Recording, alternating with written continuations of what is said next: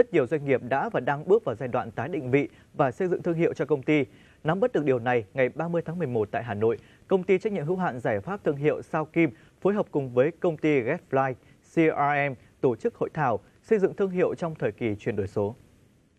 Chuyển đổi số là một trong những mục tiêu được quan tâm hàng đầu của các doanh nghiệp công nghệ tại Việt Nam. Tuy nhiên, thực tế khó có được một định nghĩa rõ ràng và cụ thể về vấn đề này, bởi vì quá trình áp dụng chuyển đổi số sẽ có sự khác biệt ở từng lĩnh vực khác nhau. Điều này khiến nhiều doanh nghiệp chưa nắm được bản chất và ứng dụng được xu thế này. Chúng tôi nhận ra là nó có mấy cái vấn đề à, nhiều khi là chủ doanh nghiệp họ mua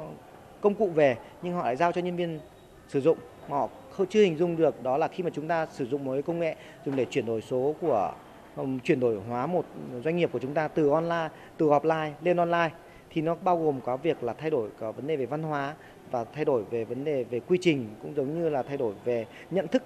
của chủ doanh nghiệp đối với cả cách làm làm doanh nghiệp. Nên chính vì vậy khi mà chúng ta chưa có thể uh, có đủ thời gian để làm hết tất cả những cái việc đó thì cái ý chí của chủ doanh nghiệp để áp dụng nó là phải là mạnh mẽ nhất chứ không thể nào mà chúng ta chỉ coi là mua một công cụ giống như là mua một cái ờ, công cụ giống như là một cái phần mềm xong giao cho một ai đó sau một khoảng thời gian là chúng ta có một doanh nghiệp à, doanh nghiệp số được.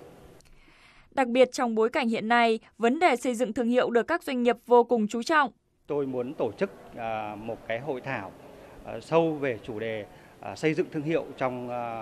giai đoạn chuyển đổi số làm thế nào để đứng trước những thách thức của thị trường, thách thức của việc thay đổi thông tin thì chúng ta có những cái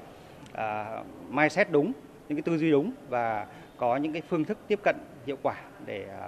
uh, đáp ứng sự thay đổi đó. Do đó, thông qua buổi hội thảo, các chuyên gia kỳ vọng các doanh nghiệp sẽ nắm bắt và tận dụng tốt hơn được những cơ hội từ chuyển đổi số để việc xây dựng thương hiệu